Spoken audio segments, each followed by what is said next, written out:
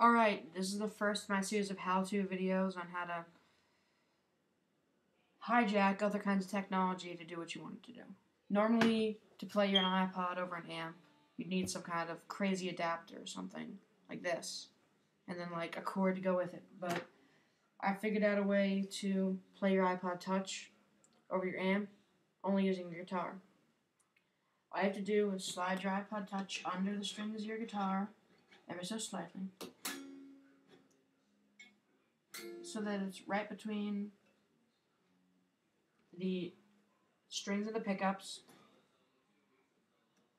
and it's going to be sitting like up and down across the first and second pickups. You're going to select the first and second pickups in your pickup selector. Turn on your amp, and it all depends what your settings in your amp should be depending on the song. Like this song's real heavy in bass, you have to turn the bass up and the treble all up. Just play with the settings until you find something that works. The position also matters. Like there. With, without. With, without.